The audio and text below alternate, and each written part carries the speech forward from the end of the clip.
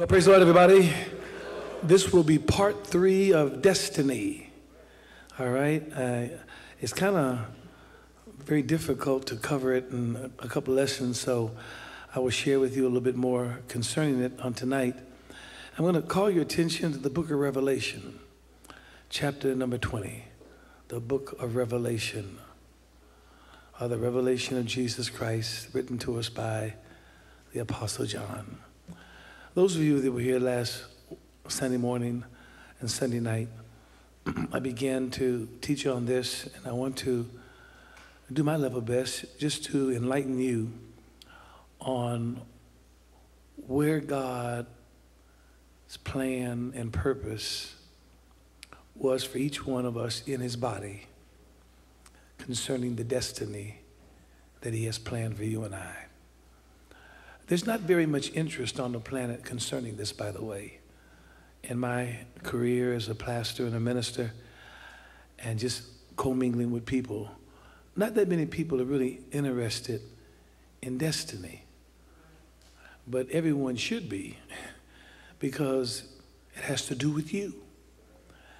Once again, I am a firm believer that the Bible is the inspired Word of God.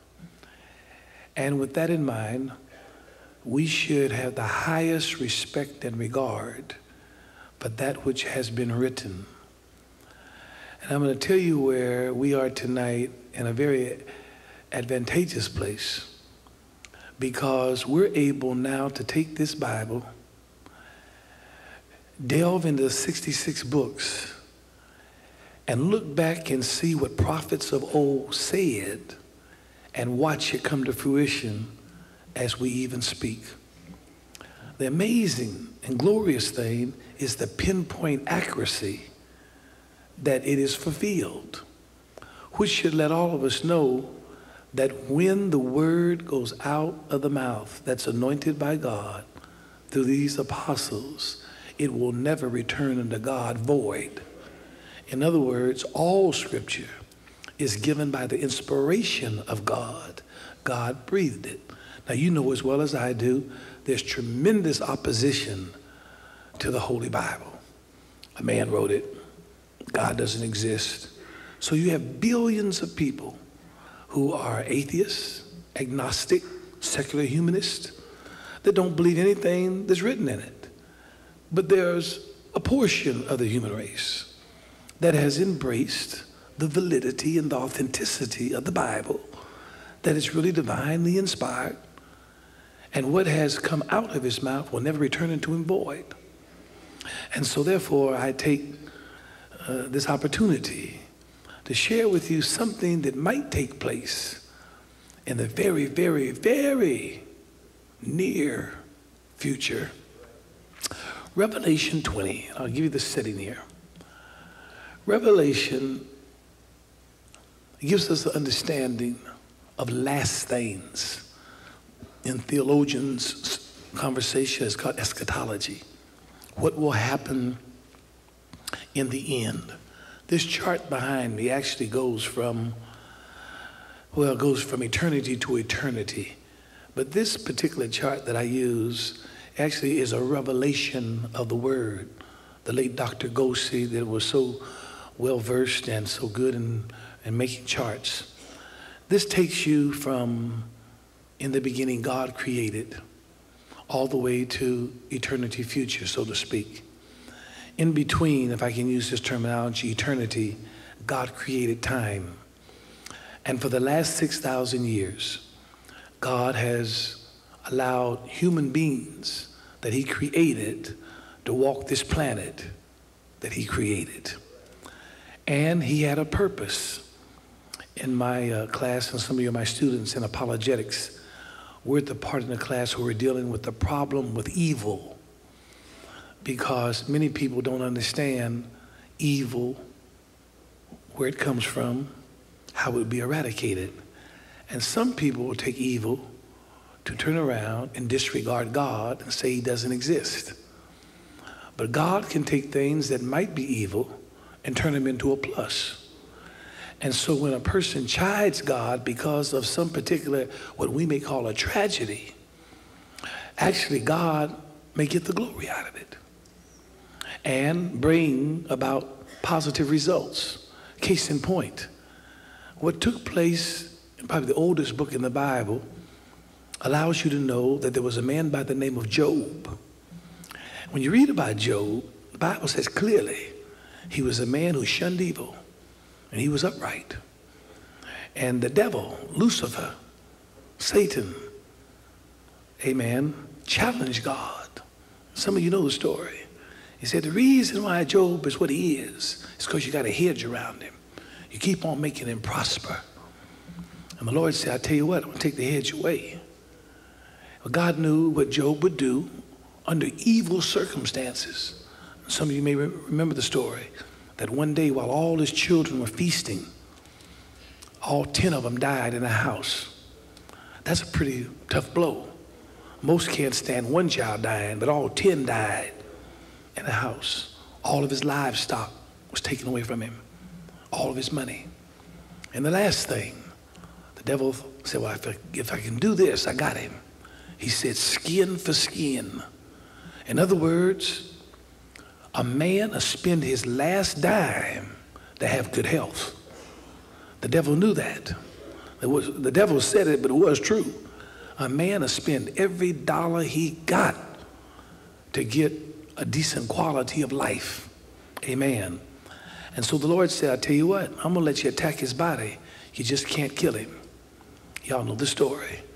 And for a period of several months, Job suffered to the max.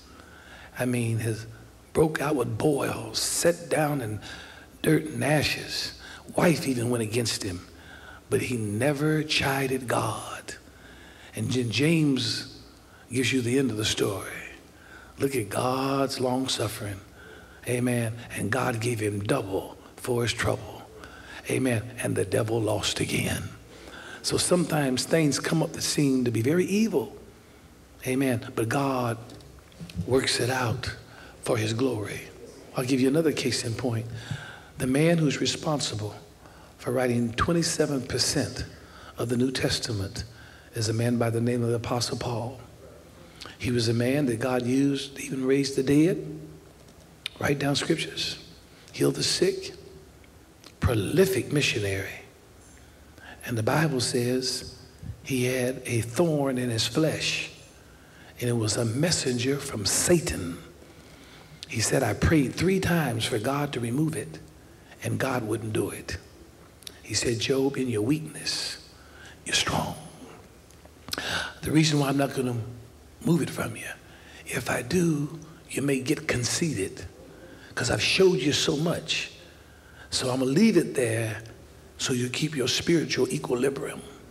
So sometimes things come into our, our experience that we don't understand why.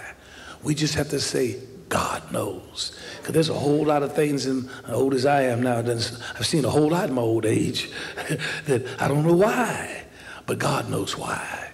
Amen. So in Revelation, the first three chapters deal with John getting information, giving the church ammunition on their temperature, things that God did not approve of and things that he did. And he concludes with a church called Laodicea. It's the age that predominantly is the characteristics of right now where we are.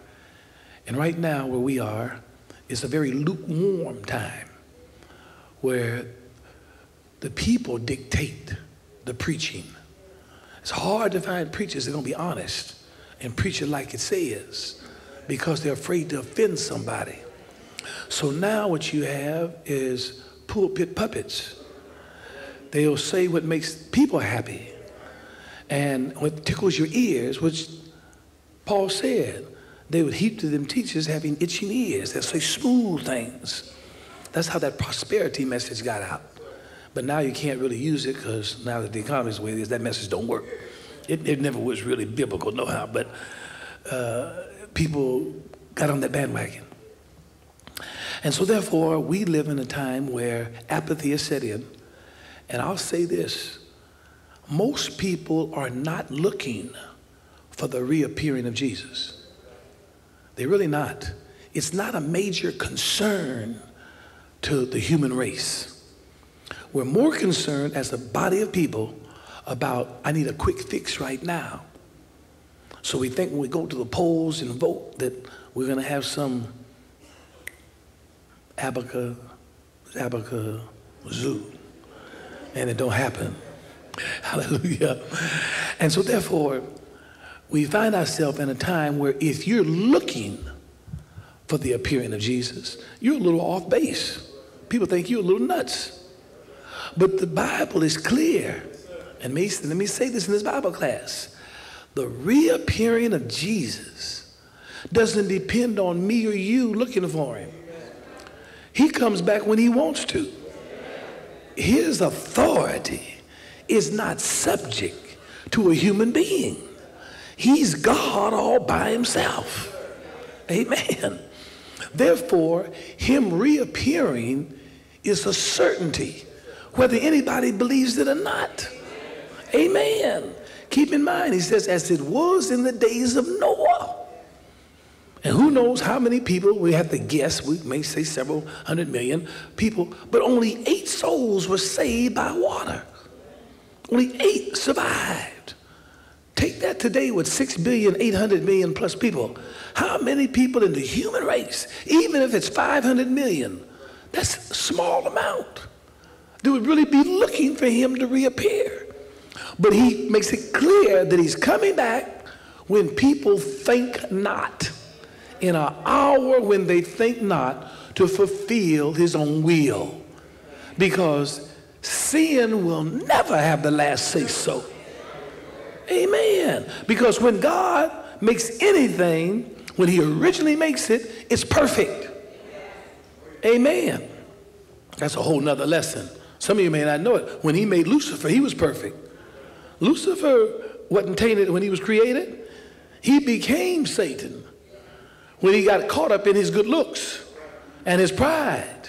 Amen. But when he was originally made, if you read what he looked like, there was no being in heaven, amen, that had more beauty than Lucifer. Wisdom. He could sing.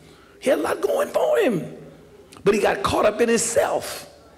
And he comes the father of lies. So now Lucifer is Satan, Diablo Apollyon, and he moves up and down as the prince of the power of the air. And God would even use him to accomplish his purpose. Hallelujah. Jesus Christ, our Lord, our great God, was not caught off guard. God did not go to plan B because plan A didn't work. You got to understand that he is the potter. We are the clay. He's the creator. We are the creature. His plan and purpose was to create a people for his name's sake. He said it clearly upon this rock. I'm going to build me a church. I'm going to have a people out of a people who will willfully respond to my grace by faith. Because keep in mind now, without faith, it is impossible to please God. For he that cometh to God must first believe that he is, and that he is a rewarder of them that diligently seek him. Amen. Because people of faith realize that there will come a time where they will be rewarded for their faith. Because God is the one who made the rules. Am I right? Revelation 20. We just passed through the third chapter. And by the time you get to the fourth and fifth chapter, Revelation, the scene is not on earth, it's the scene in heaven. At that particular juncture, the church is in heaven. The spirits have just been made perfect. Angels, whether it be seraphims, cherubims, archangels, whatever they may be, they're all there. And we're rejoicing. We've now been raptured or caught up, called the parousia or the harpazo. The church has now been caught up. That is every believer, spirit filled, from the day of Pentecost up to this present hour. Every last one of them are caught up and they get their first glimpse at seeing this great God and Savior face to face, and they are ecstatic that they obeyed the gospel. By the time you get to the sixth chapter through the 19th chapter, the earth is having its most horrific day, unprecedented in horror. Amen. And at the conclusion of the 19th chapter, here comes King Jesus and the church coming back to restore Israel to its prominency. And after that period of time, which will last seven years, we have what we call the millennium. And it could start in the next eight or nine years or sooner. I don't know, and no one else knows either. But there will be, some of you don't know what millennium means. It means 1,000 year reign. And what's going to be so marvelous about this 1,000 years? For the last 6,000 years, human beings don't know what it's like to live in an environment where Satan is not. Amen. Satan has been banting and messing with folk for 6,000 years. But during that 1,000 year period, he's bound for a thousand years and he can't go out and tempt anybody. There'll be a forced peace. And the earth is going to flourish. Israel's going to have its national primacy. And here where we are. We will reign with him, the people of the church not only in the millennium, but throughout the new heaven and new earth that God says He will create, and He says it's already done. And most folk don't even give a kitty, but I do. In Revelation 20, now we see the resurrection. Amen. He says something here. I'm going to be reading from the NIV, and I'll explain a few verses as we go through it, beginning at verse number four. Look what John saw. And I saw thrones on which were seated those who had been given authority to judge. Hold it. Somebody's been given authority to judge. All right? If I fast forward it to you, remember, and I'm going to get to it in the scriptures, when the Lord told his apostles, they were disciples who were apostles, that one day you will sit on 12 thrones judging. Am I right? Amen. In other words, you have a place of prominency in eternity with me. You're going to sit and you will judge. You will reign with me. It will be God delegating whatever authority it is for us during that particular time. So John said, I saw it. Keep in mind now, this John is the Apostle John who is schooled in what I call the University of Jesus for three and a half years. He witnessed his ministry, his life, his death, burial, resurrection, as well as ascension, and then went out, preached, responsible for the Gospel of St. John, as well as 1st, 2nd, and 3rd John, and the revelation of Jesus Christ, which makes up 22 chapters in your Bible. Amen. And I think, I'll fast forward, I think if I had been John, even though I was in a prison island called Patmos, infested with poisonous snakes, and I looked up and saw the and began to write down what the 21st and 22nd chapter of Revelation has to say, and see my name in the foundation of the eternal city, I think I would have shouted right there without an organ, a piano, or anything else. Look where God is bringing me to. Am I right? Because he there with the apostles' names are in the foundation. Amen. Then he goes on to say, and I saw the souls of those who had been beheaded because of their testimony about Jesus and because of the word of God. They had not worshiped the beast or its image, and not received its mark on their foreheads or in their hands. They came to life and reigned with Christ a thousand years. Hold it now. Now you got to understand, amen, the, the chronology of this. The church is already in heaven. So, who are these? These are tribulation saints. They missed the rapture. They did not receive him, uh, did not receive the gospel. So they were ushered into the tribulation, and a remnant of the human race is going to say, We're going to serve God now. And they have somebody preaching to them. They have 144,000 that God has designated, 12,000 of every tribe. They also have two witnesses that come down and even an angel. And they do not take the mark of Antichrist. Amen. Because they're wise enough now to know if we take the mark, amen, we are eternally damned.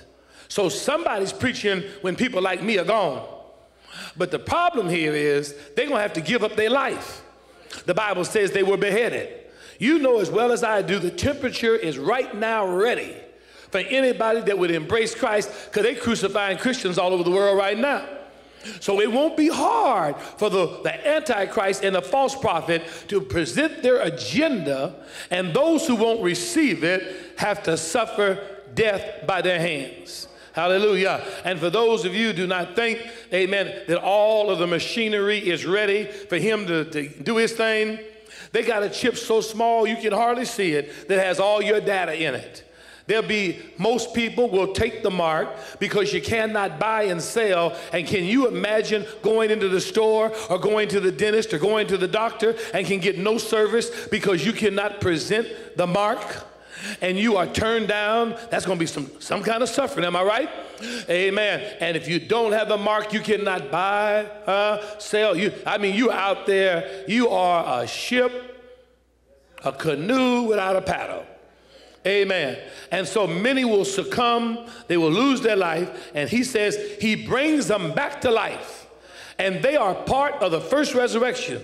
Now, they do not qualify as the church. They have eternal life, they'll be dressed in white, and they will serve him day and night. But this is a whole nother group because in the first resurrection, amen, it's already started. The first one in the first resurrection was Jesus Christ. He's the first fruits of them that slept. If you read Matthew's encounter, and after he got up, old saints were walking in the holy city. Am I right? So it's obvious they're moved on up to paradise. Then he says, when he comes back for the church, then we'll be there. Am I right? Amen. Not only that, then there will be Abraham, Isaac, Jacob, all the patriots, they are the just men made perfect. They're the spirits of just men made perfect. It's going to be some kind of get together when you get to see not only the Old Testament patriots, but you get to see David and Abraham and Isaac and Ezekiel, and then Peter, Paul, James, John, and hopefully we'll see you. Amen. And they're all there giving God some glory and giving God some praise that his word stood the test of time. And though a man didn't believe it, his counsel shall stand. Hallelujah. Because he is the God that can perform the resurrection from the dead. The same God that said, Dust thou art, and dust thou shalt return. And the Bible says, In Adam all die, but in uh, but in Christ Jesus all shall be made alive. And he said, I am the resurrection and the life. I'm the only one that can create a man. Amen. Make him pay for his penalty, turn around and give him grace and raise him up at the latter day. I'm the only one that can put breath in a man's nostrils. Amen. Let him lose his breath and then give him new breath when I come back for him. I am Jesus. I am the way. I'm the truth. I'm the life. And there's nobody my equal. Hallelujah. I created man for my own purpose, and I will bring my plan to fruition because I will have me a church and I will have a people for my own purpose that will willfully serve me because they want to. Glory to God. God don't make nobody believe him. He gives you every opportunity, but it's up to you.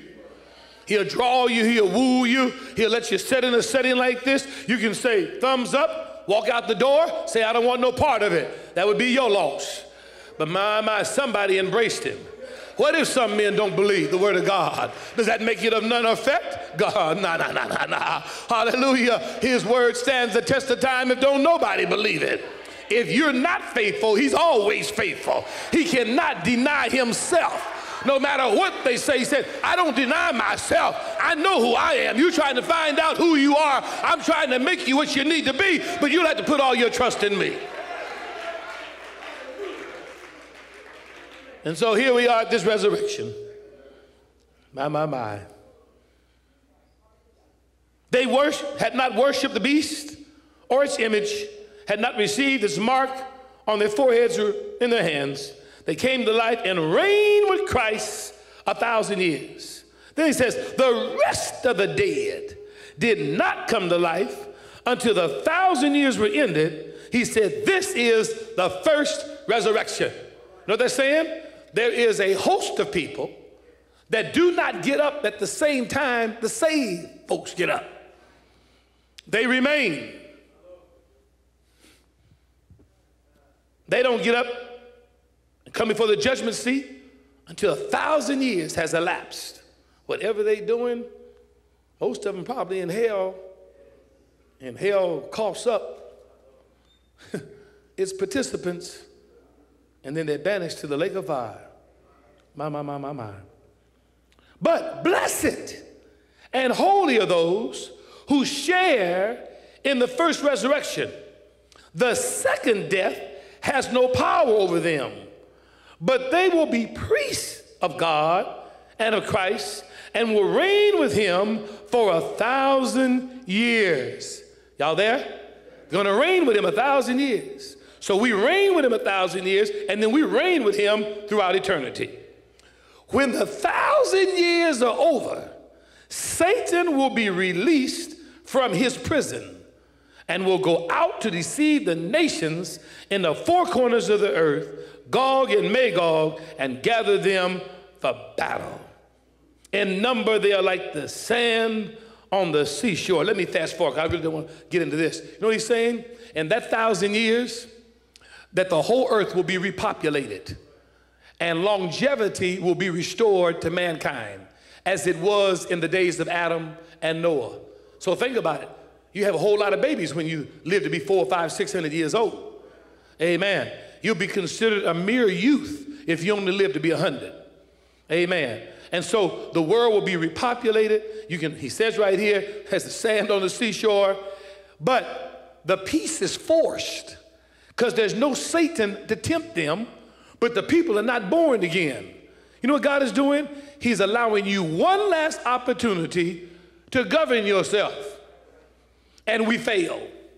As soon as Satan is loosed, he goes out, deceives the nation, and the battle of Gog and Magog, they got the gall to try to attack headquarters, Jerusalem, but this time God rains down fire, burns them up, and then what you have is the great white throne judgment, and all those not found in the book were casted in the lake of fire where the Antichrist and the false prophet had been for 1,000 years, and now Satan got to go, and it enlarged itself for all those who want to follow him.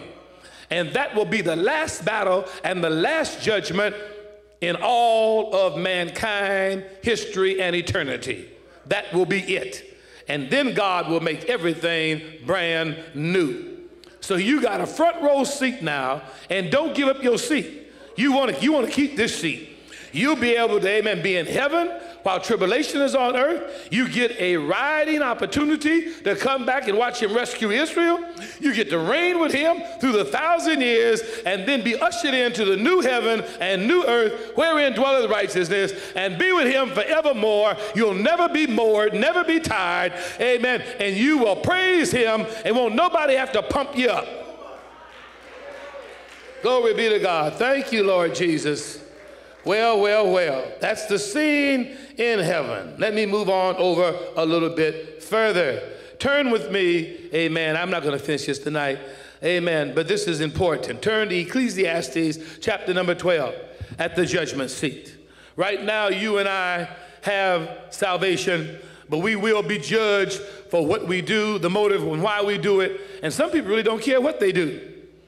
But when he, Solomon writes this concluding amen, statement, he tells, says something that everyone ought to take notice to. And I want you to know this man was qualified to say this, by the way. Amen. Not only was he a king for 40 years, but whatever he desired, he had. He had all the women you could think of 700 wives, 300 concubines. Amen. All them children. He had pools of water. Amen. He had his own, amen, navy. He had, he had his own vineyards. He had everything a man could think of. He had his own male singers. He, I mean, he had everything. Amen. Hallelujah. And then on top of that, he kept his senses. But then he disobeyed his God. He picked up strange women and they turned him from the living God, amen, to their idolatry. Am I right? My Lord. But notice what he says, amen, at the end of his writings, when he's already written Proverbs, Songs of Solomon, we have the book of Ecclesiastes in the 12th chapter. He says this in verse number 13 Now all has been heard. Here is the conclusion of the matter Fear God, keep his commandments, for this is the duty of all mankind. Keep in mind, God has always demanded obedience. Always. Because I want to say something to you. A lot of people say they love God, but they won't obey God. You will never prove to God that you love Him by disobeying Him. Amen. Love has action to it. You cannot say you love somebody and you don't have some action. Amen. He says, If you love me, keep my commandments. They only had one commandment. Amen. Do not eat from the tree of the knowledge of good and evil. And they failed. Can you imagine all the trees they could have eat, eaten from? Tree of life, everything. Amen. And one test, I'm going to test you and see if you really love me. Amen. And Adam and Eve failed the test. You know, Eve was deceived. Adam willfully left his father and cleaved unto his wife, and we've been in trouble for the last 6,000 years. Y'all don't want to hear that, but it's the truth anyhow.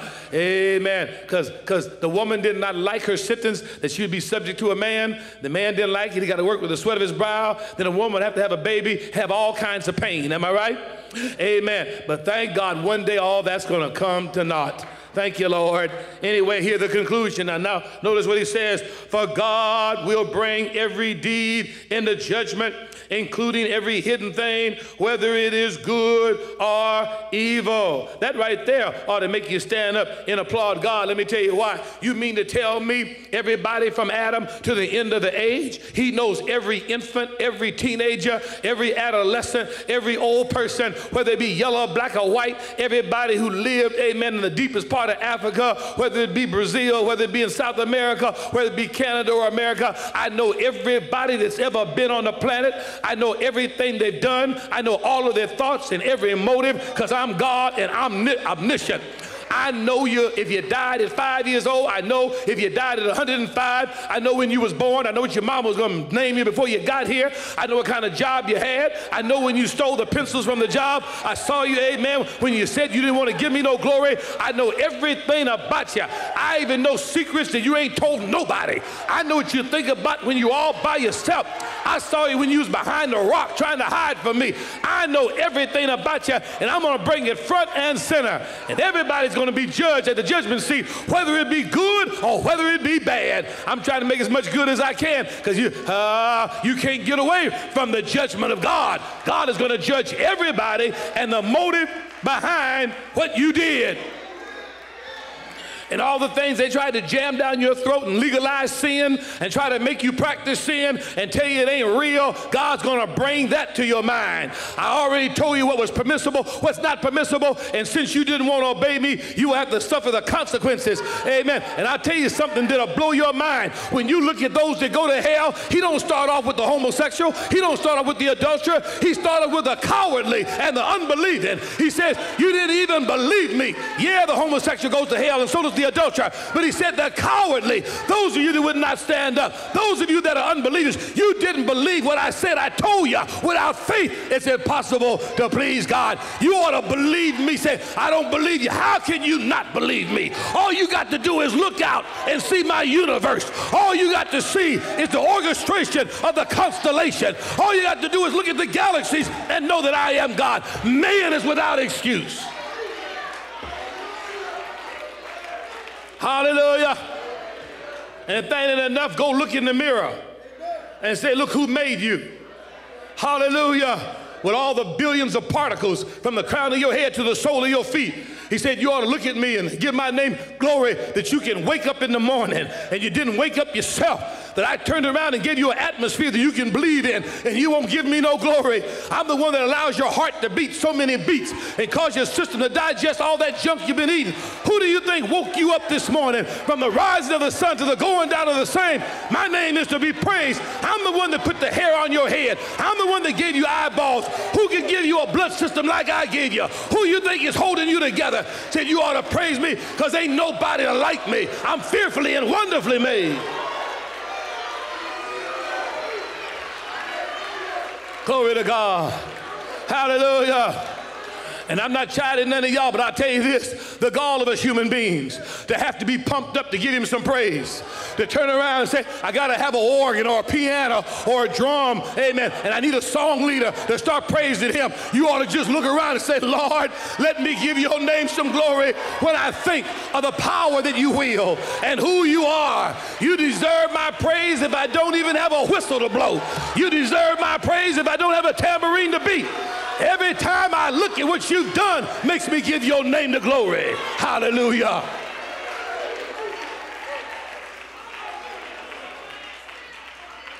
St. John 5, glory to God. Hallelujah. Mighty God is he.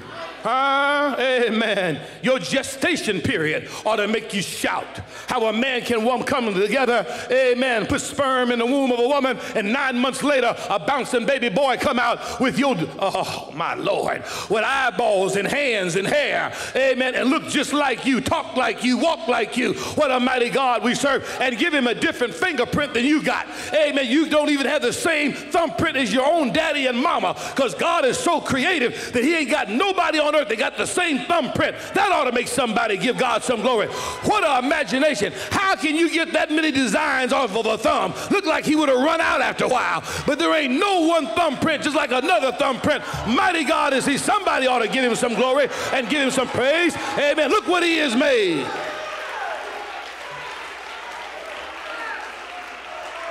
Hallelujah. My, my, my, my. Hallelujah. Glory to God. For the invisible things of God from the creation are clearly seen by the things that are made. Even his eternal power in God here, he said, Man is without excuse. The atheist is a fool. The fool is said in his heart, There is no God. Because the atheist says, When you die, you ain't going nowhere. But that ain't what the Bible says. Hallelujah. We're going to all stand before the judgment seat. Uh, let me prove it. St. John 5. Glory be to God. Hallelujah. My, my, my, my, my. What you ought to be shouting about that somebody invited you to a church where you could be born again and you ran across somebody that has the Holy Ghost. That's what you ought to be shouting about, rather than debating tongues and all that kind of stuff. Be glad you ran across a tongue talker. You ought to be glad you ran across somebody who been filled with the Holy Ghost. It was good to met the Apostle Paul or the Apostle Peter. Amen. Since they had the keys to the kingdom, I'd like to know somebody that got some keys to the kingdom. Amen. I don't need to know the president. Just find me somebody who got the to the kingdom. I don't need my name in the White House. Just give me somebody who got the keys to the kingdom. I don't need to have my name down on Hollywood Boulevard. Just give me somebody who got the keys to the kingdom. Tell me what must I do to be saved. Introduce me to somebody that will allow me to know what my destiny is. Glory be to God. Lord, help us to be witnesses. Rather running somebody out the church, we ought to be trying to grab somebody and drag them up in here. Talking about you don't need to come to church. There's a whole lot of folk need church. Hey Amen. You done got saved. Now you're going to be stingy on getting somebody else. Everybody ought to know, know, know how to be born again. If I don't preach nothing but the death, burial, and resurrection, you ought to say, come on here. You can hear the death, burial, and resurrection. Because without that, you can't be saved no how. St. John 5. Glory be to God. Thank God, thank God. You blessed beyond measure right now. Uh, half y'all don't know it, you don't even believe it. You blessed beyond measure right now. In fact, if the truth was told, you, you don't even understand why God's being so good to you. Why God has showed you mercy. You could be in Haiti full of cholera right now. You could be in Nigeria eating rats. You could be somewhere in the Philippines trying to find uh, some mud to eat. You could be somewhere with ash all over you. Amen. You could be somewhere where somebody's raping your mama and raping your wife. You could be somewhere where there's no law whatsoever. But look where you are tonight. You could be somewhere where there's nothing to eat and no place to go. Lay down and go to sleep tonight. But look how kind God has been to you and I. Somebody ought to give him some praise. Somebody ought to come back and say, Lord, I want to thank you.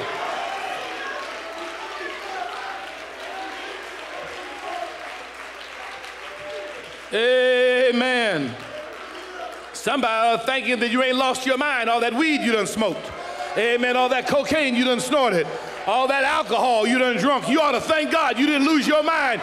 You could be laying out on Fifth Street pickled somewhere, but God was kind enough to help you get over here. You could be full of disease, amen, because you know you've been fornicating. You've been laying with somebody that wasn't your spouse. You ought to thank God when he looked down, he said, mercy, mercy, mercy, mercy, mercy, mercy, mercy, mercy. I deserved that, but mercy stepped in. Somebody ought to thank him for mercy.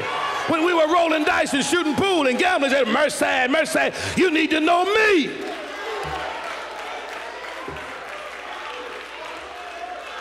St. John 5, thank you, Lord. Hallelujah. I'm so glad I've been filled with the Holy Ghost for 39 years. I wouldn't turn around for nothing. Amen. If I'm dreaming, don't wake me up. I'm rolling with this, y'all. Ah, uh, thank God for the anointing. Praise God. And I don't even need y'all to applaud or say amen. I got my own dime. Amen. I'm already happy in Jesus all by myself. Hallelujah. Chapter number five, the book of St. John, verse 24 says this Verily, verily, I tell you, whoever hears my word, believes him who sent me, has eternal life will not be judged, but is crossed over from death to life. It, first of all, God cannot give you anything greater than eternal life. That's the best he can do, and that's enough. Eternal life. Since he's eternal, he gives you his life, and there's nothing greater than eternal life. Glory be to God. Mm, mm, mm. Very truly, I tell you, a time is coming, has now come, when the dead will hear the voice of the Son of God, and those who hear will live. Let me stop there. You ought to be glad you heard it. Because when he got us, we were dead in trespasses and sins. But thank God the wooing of the Holy Ghost was in your Sunday school lesson. I think it was last week. Thank God for him tugging on your heart and wooing you and aroused you. Thank God he disturbed your situation that you might seek a higher life. Hallelujah. Because you could have just stayed in oblivion. Amen. Hallelujah. But God's allowed you to get restless and begin to ask some questions concerning life and death and eternity. And thank God he gave you the answer. Thank you, Jesus. Hallelujah. For if there is no eternal life, we wasted our time coming down here tonight. And if Jesus did not rise from the dead, I'm a liar a false prophet, and everybody I preach to is perish, but he's risen. Amen. He did get up. He rose from the dead, no matter who says he didn't rise. Oh, hallelujah. Amen. Please don't follow Darwin, Sigmund Freud, Aristotle, etc. Wrong. Follow Paul as he followed Christ. For as the Father has life in himself, so his grand the Son have life in himself. He's given him authority to judge because he's the Son of Man. Now watch this. Do not be amazed at this, for the time is coming. Here's Revelation 20 now. When all who are in their graves will hear his voice and come out. Those who have done what is good will rise to live. Those who have done what is evil will rise to be condemned. Hmm. Let me give you a test. This is on the tape. People think I'm arrogant, show no mercy, because so many people, when they fall, they try to make it like God made them do it. God don't tempt nobody with evil. But let me share this with you. You actually can be a preacher and not believe the Bible. You can preach it, quote it, and don't believe it. You know how to modulate, sweat, do all this stuff, and don't believe it. You can do it for money, do it for popularity, and really don't believe it. Israel had the gospel preached to them, it was of none effect because it wasn't mixed with faith. So you can quote scripture, memorize scripture, and still not believe it. Amen. But let me share this with you. I know you're hearing a whole lot about preachers falling, whether they be with men, women, what are they doing. Let me tell you, the man who falls into that kind of sin can willfully practice those type of abominations does not believe Jesus is coming back. Impossible. And I'll give you scripture. 1 John 3 and 2, you have to pick it up. I'll just quote it to you. And every man that hath this hope in him, he purifieth himself. You don't need nobody to purify you. When you got the hope that you will see him face to face, you will purify yourself. You won't even need me. All you will need is a hope. And that hope of being Christ, and you said, Because of my hope, I'll purify myself, because the God that I serve am holy, and I will not. But you got to meditate, you got to think on it, you got to stay in services like this, you got to remind yourself, hallelujah, I got a hope in me, and I'm not going to do anything to lessen my reward in heaven. Glory be to God. First Corinthians, chapter number six. Remember that judge thing? Remember that judge thing? When this was written, Revelation hadn't been written. When Paul wrote this, 1 Corinthians 6, Revelation hadn't been written. Revelation was written somewhere between 85 and 95. Some may say as late as 100 AD. These letters were written in the 60s. But somewhere along the line,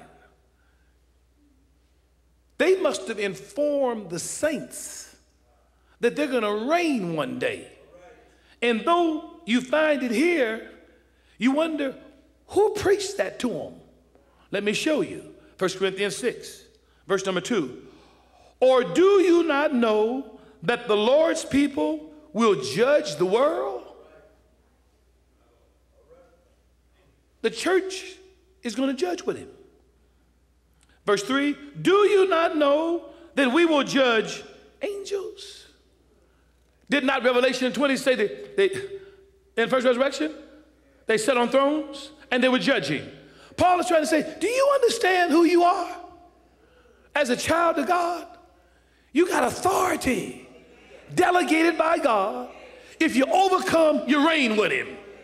What a mighty God we serve. You mean you letting us in on all this?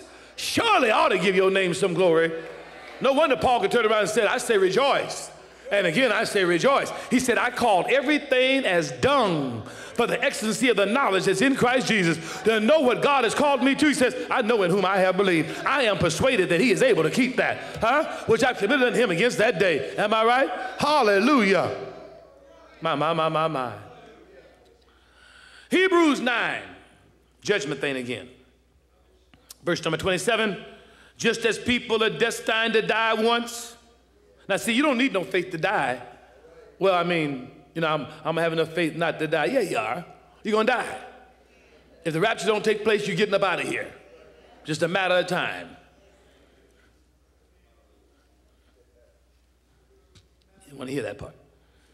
After that, to face judgment. As certain as death is, that's how certain judgment is. Watch out here. So Christ was sacrificed once to take away the sins of many, and he will appear the second time. You know, folk ain't looking for him. Not to bear sin, but to bring salvation to those who are waiting for him. Somebody waiting for him. Somebody really believes he's coming back. When he appears next time, it won't be to go to the cross. When he comes back this next time, he's coming back to take his people, and the next time he's coming, he's executing judgment. Because the lamb is now the lion of the tribe of Judah. Job got this information. He said, I'd, I'd, like to write it down somewhere where it would last forever. You got to read me. You don't have to turn to it, the 19th chapter of Job. Then he says this. He says, I know that my Redeemer liveth. And then he says this, this paramount. He shall stand at the latter day. Though the skin worms eat my body, yet in my flesh shall I see God. He had never met St. John. Who gave him that? Daniel 12. There is an inheritance. Something's about to break, y'all. Something's about to break. And you know why? Because man doesn't have the solution. Look how we're struggling in America. Who to put in office? You put a man in office, he ages 20 years in two. What he looked like two years ago, he looked 20 years older now. Too much stress and pressure. On top of that, to be politically correct, you got to run between the raindrops. Because if you don't appease one group, huh, they get mad. And so you can't really please all the people. So what you have? Bumping heads. So there is no solution. There will be none. There will be a false one though. This man that's coming out called Antichrist, he's a bad boy. He's a man for all seasons. He will have an answer to the economic crises. He'll even have that. His answer will be so great that Israel will even sign a covenant with death. They actually will sign a covenant with death. Divide the land. You ought to be glad before all this starts, tribulation, the church is gone. Now, you think prophecy is being fulfilled right now? Wait till the church is caught up. It will be fast forward. I'm glad I won't be here to see it. Now, if you're in this room and you're here to be introduced to Antichrist, know that you missed the rapture. Daniel 12. Daniel's given this information. At that time, Michael, one of the few angels that are named in the Bible, the great prince who protects your people, will arise. There will be a time of distress such as not happened from the beginning of nations until then. But at that time, your people, everyone whose name found written in the book, will be delivered. Multitudes who sleep in the dust of the earth will awake, some to everlasting life, others to shame and everlasting contempt. What did Daniel get? He got a 1,000 year window. The ones who woke up in everlasting life, the rest of them don't get up for a thousand years according to what we read in Revelation 20. Am I right? And he says, but before that, there would be distressed of nations. Then he goes on and tell you knowledge will increase. They will be running to and fro. But he lets you to know something big is happening here, real big. the world is under its most horrific hour it's ever had to deal with. Amen. But you will be delivered. Everyone whose name is in the book. Amen. Well, let me just drop that on you. Do you remember when the disciples came back? They had been sent out, 70 of them, two by two. They came back and said, Lord Jesus, at your name, the demons even subject to us. Amen. I mean, we got power now. When we go and just use your name, folk get healed, demons got to scatter. Just, ain't that some kind of authority? When you go, just use my name, watch what happens. They came back and said, demons are subject. They were rejoicing. He said, don't rejoice over that. He said, but rather rejoice that your name is in the book of life. That's what you rejoice about. Get glad that your name is in my book. Somebody said, How did I get there? This man and that man were born in her when I writeth up the book. Being born again ain't no small thing. To be born of the water of the Spirit is colossal. Thank God my name is in the book. Because if your name is in the book, you will not have to deal with the second death. And I'm glad my name is in the book. And the only way you know your name is in the book, you're going to have to know you've been filled with the Holy Ghost because the Holy Ghost is God's guarantee, letting you to know that He's granted repentance unto life. Everybody else is assuming a guessing, but we ain't assuming a guessing. Oh, hallelujah. Because no man can call Jesus Lord except by the Holy Ghost. You may assume He's Lord, but you do not know Him intimately until you're filled with the Holy Ghost. And thank God, when the day of Pentecost come, He opened up an intimate relationship. I'm going to be in you, and you are going to be in me. Hallelujah. And if you have me in you, I'll raise you up. Hallelujah. Glory be to God. Glory be to God. Let's see if Daniel has inheritance. Verse number 13. God says, Daniel, you got to close it up. John said, open it up. He told John to open it up in Revelation. He told Daniel to close it up. Do you know how long it's been since it's been written? About 2,560 or 70 years ago. And you're watching it come to fruition. When Daniel uttered this, Amen. You're talking, amen, over 2,500 years ago. And guess what? He never saw an airplane, a missile, nobody going to the moon. He wasn't walking around with a cell phone, no computer. Knowledge increasing while we're sitting in here. And yet he said knowledge was going to be unprecedented. Moving fastly. All y'all came, nobody came here on a bicycle today. Most of y'all drove down here. Somebody gave you a ride. Amen. Hallelujah. Look what God has done in the last 100 years. Amen. Hallelujah. Our great grandparents, all they could say was giddy up. Amen. But look at you now. You say, start her up. Hallelujah. Glory be to God. Look how knowledge has increased. Amen. Hallelujah. Some of y'all still scared to fly. Amen. Amen. But somebody turned around and made an engine, went to Rolls Royce, and now you flying through the air 38,000 feet and telling somebody I'll be there in four hours. You know you got to have a lot of gall or a whole lot of faith in mankind that God to keep that plane flying through the air. Amen. Crossing the Atlantic and the Pacific Ocean. Amen. With nowhere to park. And you depended on somebody put the engine together right somewhere in a stall. Amen. And some, amen amen, some hangar, and you got the nerve to sit down there and have lunch flying across the water, amen, somebody getting drunk next to you, you ought to be praying, amen. Ain't nobody to park this thing nowhere. We ought to thank God his word has been fulfilled in our lifetime. Glory be to God. Hallelujah. So he says to Daniel, As for you, go your way to the end. You will rest. In other words, Daniel, you're getting ready to die now. And then at the end of days, you will rise to receive your allotted inheritance. My, my, my, that ought to have been something, love. You mean Daniel? Yeah, you got inheritance because you loved me. You had purpose in life. Hallelujah. You risked your own life to give my name glory. When everybody was bowing down, you stood up. When everybody was eating, you said, I don't eat meat. Hallelujah. You prayed when everybody else was talking.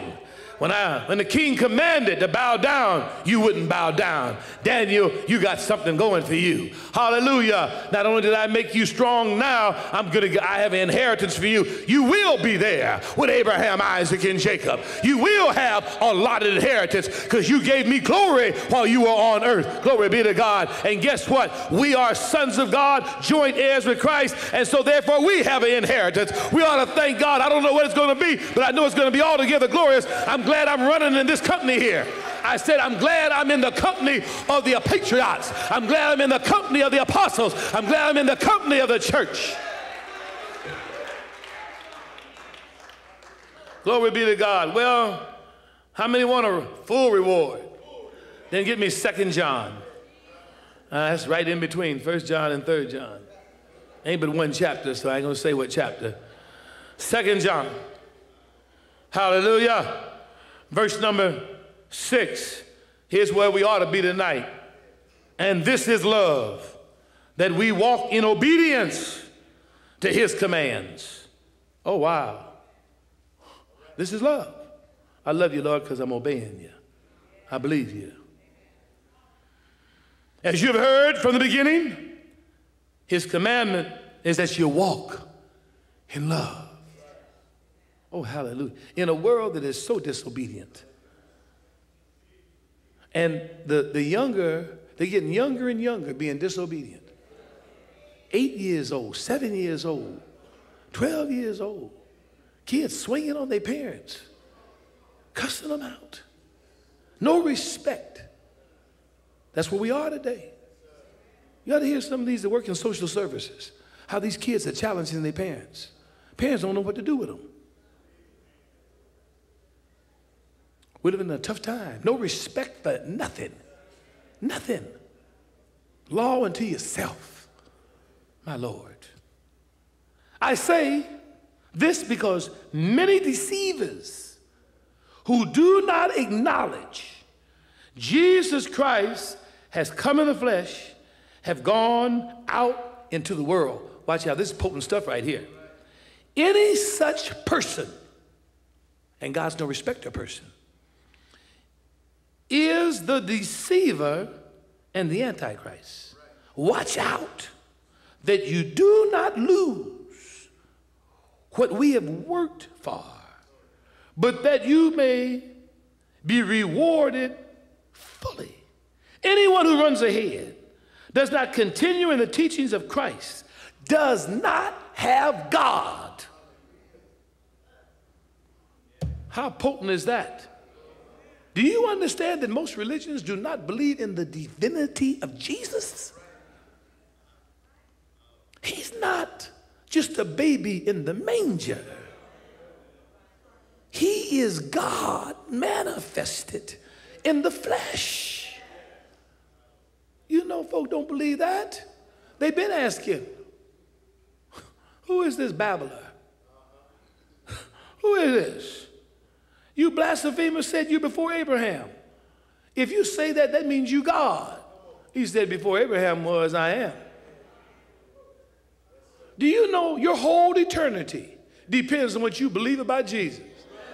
Ain't that something? Your entire eternity. He's the hinge of the future. You don't believe him? He says, He that hath the Son hath life. He that hath not the Son does not have life. Thank God for the revelation. I'm not fussing at you, I'm just trying to get my point across. He says, Don't even let them come to your house. They don't believe in the divinity. Jehovah Witness don't even come to my house. I'm a Jehovah Witness. You ain't no witness. You don't believe in the divinity of Jesus. I can't let you teach me. Now, if you sit here, I'll teach you. But you can't teach me because you ain't got off of first base yet. Jesus is God manifested in the flesh. There's no God in heaven other than Jesus. God's name is Jesus.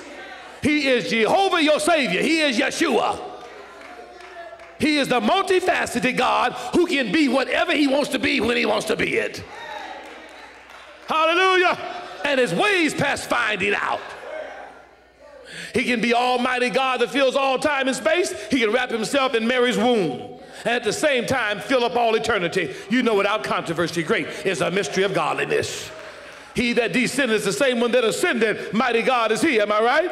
Uh, the mystery of God in Christ is some type of mystery. But God was in Christ, reconciling the world unto himself. He said, There ain't nobody in heaven I can send to rescue you. There's not an angel that can pay the price. There's not a prophet that can pay the price. Can't nobody save you but me. Can't, because I created you. And since all sin is against me, I'm the only one that can pardon sin. Angels can't pardon sin. I'm the one that pardons sin.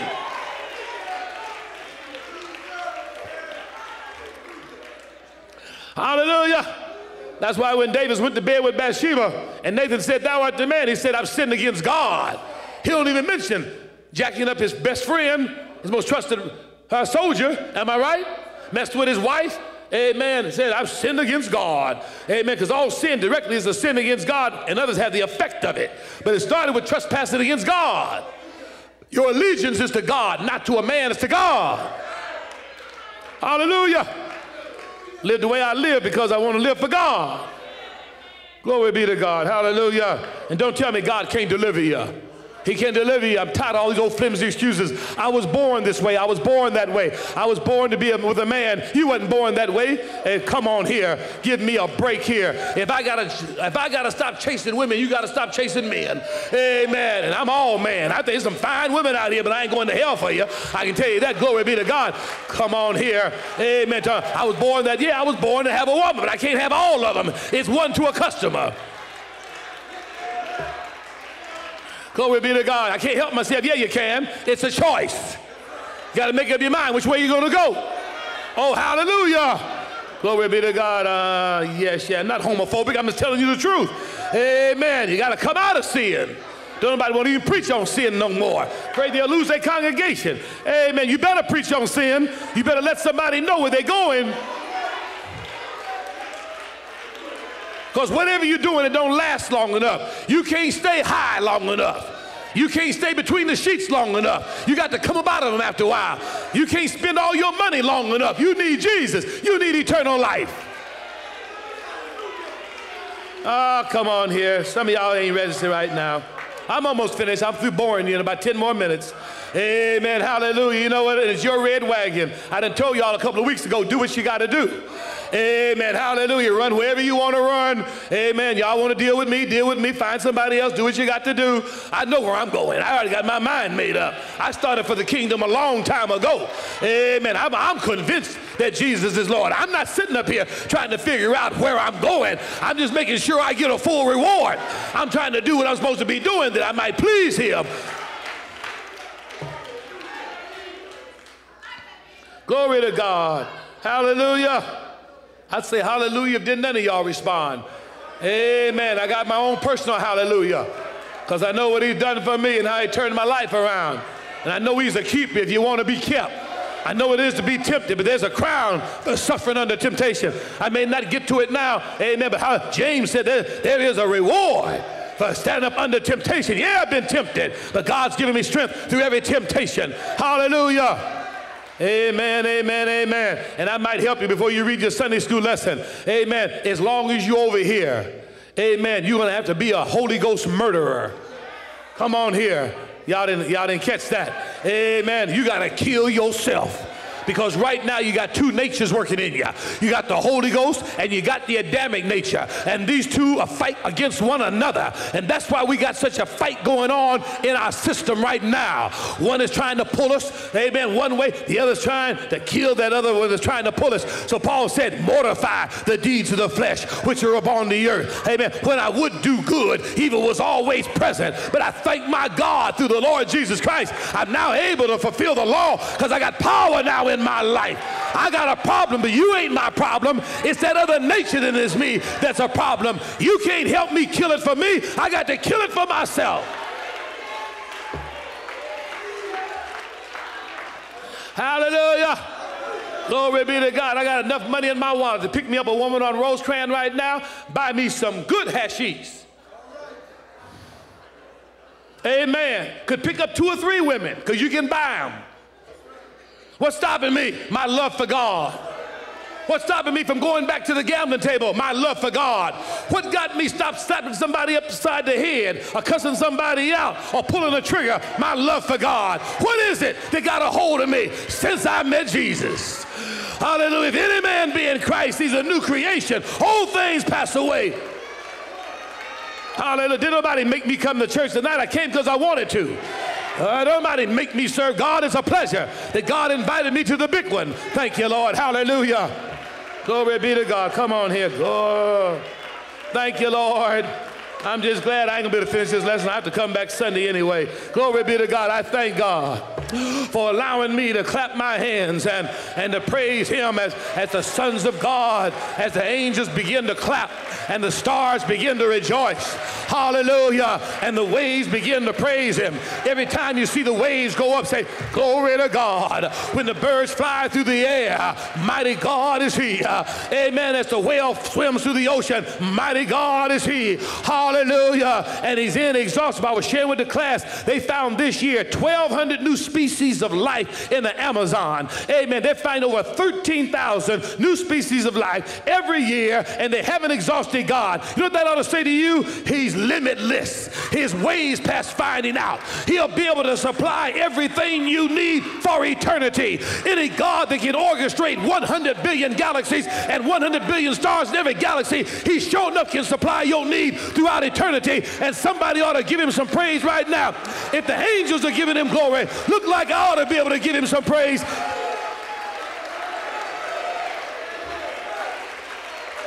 Hallelujah. Thank you, Lord. He deserves my praise. I told him if Keenan don't play the uh, piano, Andre don't play the whatever he plays, and Troy don't play nothing, you ought to have a praise all by yourself. You ought to bring a pot down here with a, with, with, a, with a spoon or something and just hit the pot with the spoon and say, let me just give God some glory. Take off your shoes and clap them together, but do something. Give God some praise. Amen. Get yourself a book and slap yourself up beside the head. But somebody ought to say, mighty God is he. Hallelujah. When I look out and see the orchestration of Almighty God, he's worthy of my praise. No one says, shout when you come into my sanctuary. Be glad when you come through my door.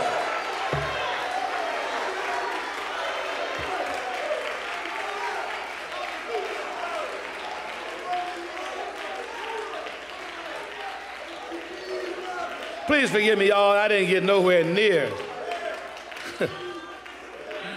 I just have to try, if the Lord tarries, on Sunday to come back and share with you.